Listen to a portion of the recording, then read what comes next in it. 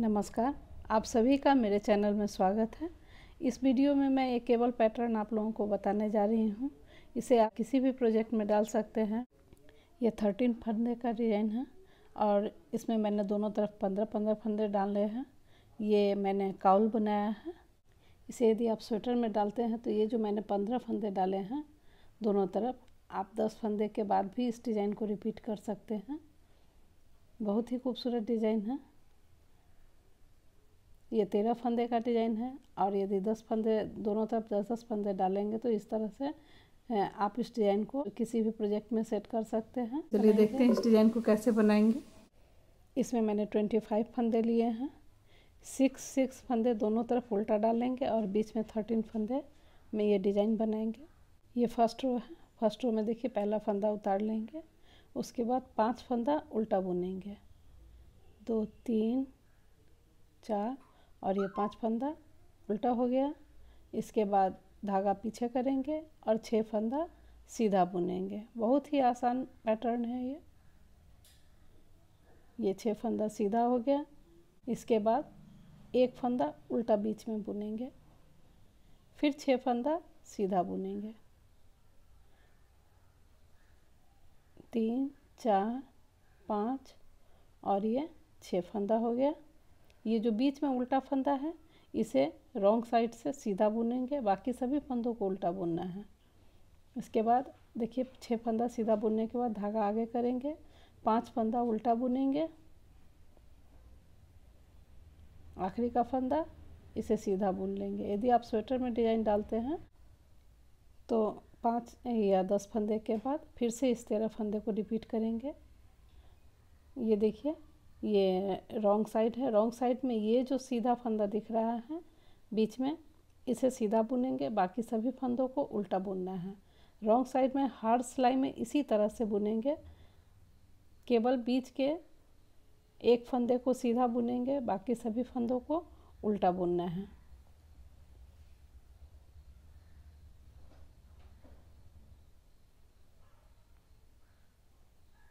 ये देखिए, ये जो बीच में फंदा दिख रहा है सीधा, इसे केवल सीधा बुनेंगे। बाकी सभी फंदों को, बचे हुए फंदों को उल्टा बुन लेना है। आखिरी का फंदा उसे सीधा बुनेंगे।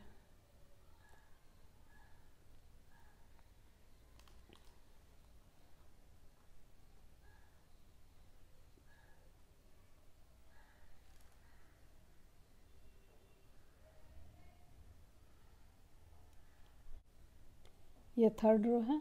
थर्ड रो को फ़र्स्ट रो की तरह ही बुनेंगे। पहला फंदा पहला फंदा उतार लेंगे, उसके बाद पाँच फंदा उल्टा बुनेंगे। धागा पीछे करेंगे। अब ये छः फंदा सीधा हो जाएगा।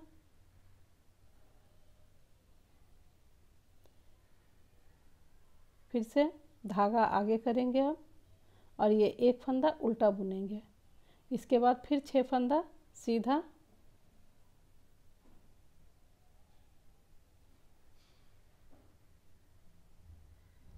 इसके बाद जो ये पाँच फंदा उल्टा है, इसे पहले उल्टा बुनेंगे, आखिरी का फंदा।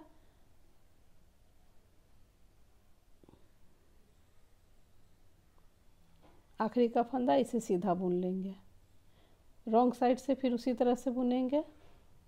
इस तरह से दस सिलाई तक बुनेंगे। ये थर्ड रो है। रॉन्ग साइड से केवल ये जो बीच में फंदा दिख रहा है, इसे सीधा बुनेंगे। बाकी सभी फंदों को उल्टा बुन लेंगे।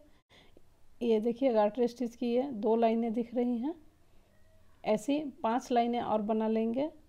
उसके बाद जब एक ग्यारहवीं सिलाई आएगी, उसमें फंदों को ट्विस्ट करेंगे। बस एक सिलाई में ही यह डिज़ाइन बनता है। उसके अलावा फिर दस सिलाई इसी तरह से छः फंदा सीधा और एक फंदा उल्टा, फिर छः फंदा सीधा करते हुए बुनेंगे। फिर जब एक ग्यारहवीं सिलाई आएगी तो इस डिज़ाइन को रिपीट करेंगे। देखिए, यहाँ पे जैसे फंदों को मैंने ट्विस्ट किया है, उसी तरह से इस डिज़ाइन को बनाएँगे। ये दस सिलाई के बाद फिर आपको दिखाते हैं। यहाँ पर देखिए, ये मैंने दस सिलाई बना लिया है। ये देखिए, गार्टर स्टिच की पाँच लाइनें दिख रही हैं। ये पाँच लाइन इस तरह से पूरा हो जाने के बाद अब इसमें फंदों को ट्विस्ट करेंगे। देखिए किस तरह से घुमाएँगे। इसके लिए पहले, सबसे पहले पहला फंदा उतार लेंगे, उसके बाद पाँच फंदा को उल्टा बुन लेंगे। धागा पीछे करेंगे। अब देखिए, ये जो टू पॉइंटेड नीडल है, इस तरह का एक नीडल ले लेंगे, उस पर इन तीन फंदों को उतार लेंगे। जो ये छः फंदा है, इसमें से जो पहला तीन फंदा है, इसे इस सिलाई पे डाल लेंगे।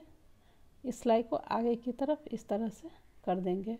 फिर जो ये चौथा, पांचवा और छठा फंदा है, इसे पहले बुनेंगे। इस तरह से इन तीन फंदा को पहले बुन लेंगे। उसके बाद देखिए, ये जो तीन फंदा है, इसे बुनेंगे।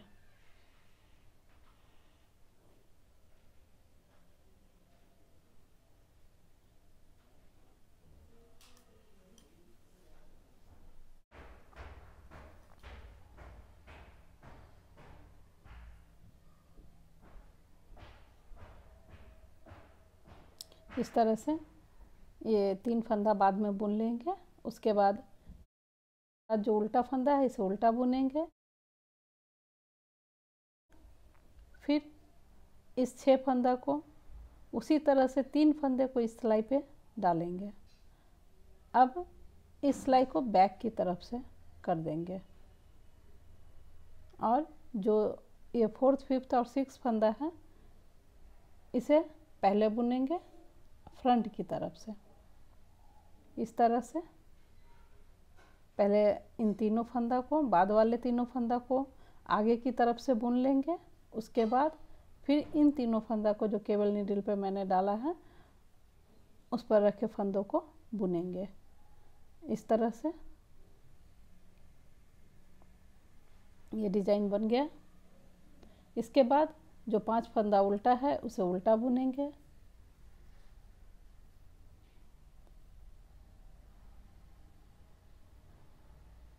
आखिरी का फंदा, इसे सीधा बुन लेंगे।